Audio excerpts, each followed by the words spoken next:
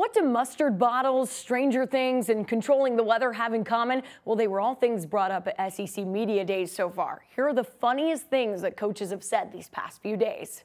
We know that in time, Vanderbilt football will be the best program in the country. I did sign a mustard bottle. That was the first um, guy to come up, which I think he had Alabama shirt on, so I was a little confused there. So yes, I've signed a lot of mustard balls and golf balls, uh, which normally I haven't. So Operation Odessa, that uh, documentary, you need to watch that about uh, these uh, international criminals that uh, try to buy a submarine for Pablo Escobar. That's worth watching.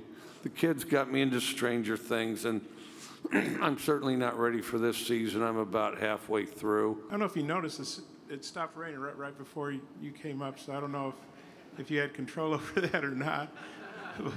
I don't think so. Yeah.